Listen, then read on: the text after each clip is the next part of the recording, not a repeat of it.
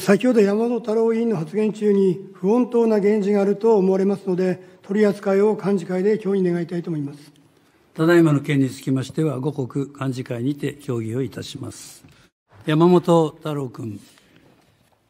令和新選組、山本太郎です。現在日本国、日本国における憲法問題は存在するのか、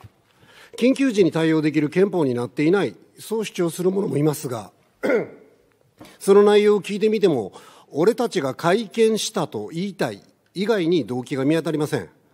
すでに現行憲法は緊急時も対応できる内容になっています。災害などを利用し、無制限に権力を掌握したがる無法者が、いつか現れることを想定し作られているのが現行憲法。では、日本における憲法問題は存在しないのか？いや、存在します。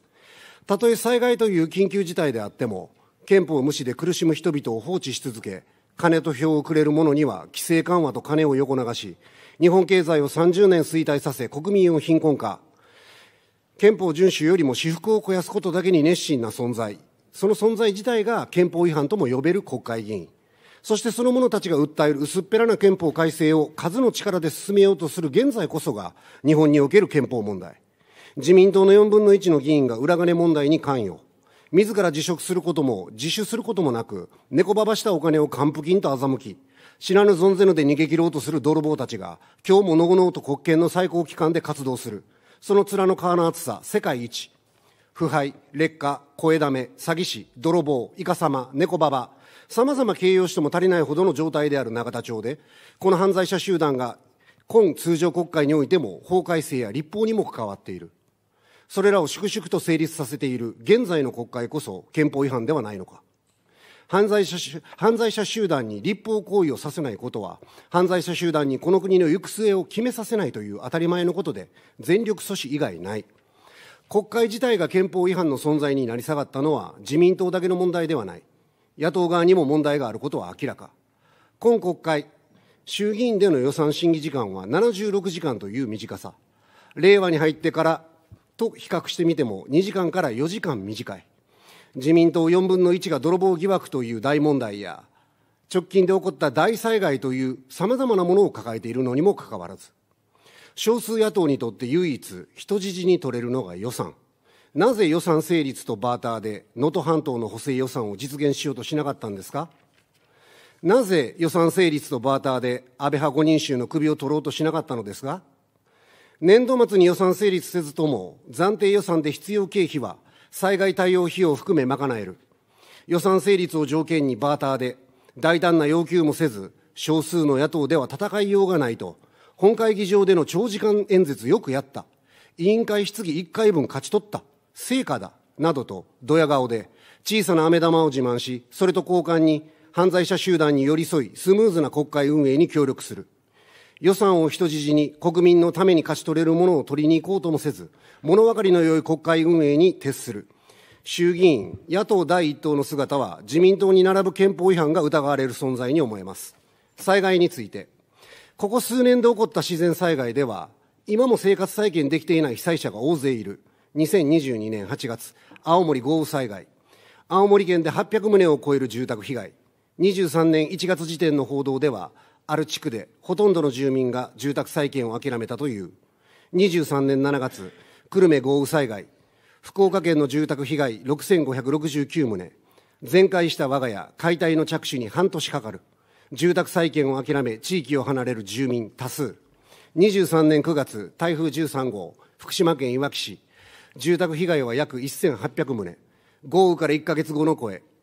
移転新築で数千万円。現現在地での再建でも1000万円かかる。再建を諦める住民多数。2019年山形沖地震から2年経っても屋根をブルーシートで覆ったままの家に住む人々。一部損壊という状態には、ビタ一文出さないことで、災害が起こるたびに、生活再建できていない人を大量に生み出し、貧困が拡大。災害は終わったと切り捨て続けているのが自民党。憲法はもちろん、コミュニティを守る気もなく、被災者は泣き寝入りしかない。能登半島にも同じような手口で対応することは、発災から現在までの政府の対応を見れば一目瞭然。本来なら総理が即座にヘリで視察、物資空輸と人命救助に自衛隊を大量投入しなければならない場面でも、大した増員もせず、やれることは全部やると言葉だけ踊らせ、水も食料も圧倒的に足りない状態を民間に穴埋めさせる神経を疑う。発災直後でも経済団体の祝賀パーティーに出席、2週間も現地を視察せず、放置するような政治家が総理で、それに党内で苦言を呈する者もいない。発災から4ヶ月経っても奥能登では水道も通らず、高齢者が毎日20リットルの水を求めて給水車に並ばなければならない。早々にプッシュ型支援は打ち切り、飲料水さえも底をつきそうな状況を見かね、政府に水の支援、増強をお願いしても、店で売っているペットボトルを買えばいいと切り捨てる。被災地では下水が復旧しておらず、自宅でトイレ使えず、仮設のトイレは遠く、毎回15分かけて歩いて用を足す。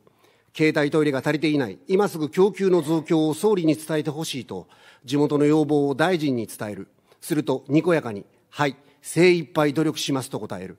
次の委員会で携帯トイレの件どうなったかと確認すると、報告はしましたとにこやかに答える。結局担当省庁から地元自治体に携帯トイレあるかと電話で確認、ありますと返事を受け、それで終了。間の目詰まりなどは一切気にしない。返事だけは元気でポンコツな大臣、口だけで気持ちのない腐れ下道のような総理、それに対しておかしいという声を上げない自分の身だけが可愛い国会議員たちの共通点は、憲法改正。災害がと声を揃えて憲法改正の必要性は訴えるが、彼らの口から今現在、災害の中で基本的人権さえも守られていない被災住民の状況はほとんど聞こえてこない。憲法改正を語る前に今の憲法を守れ、やるべきことをやれ、以上です。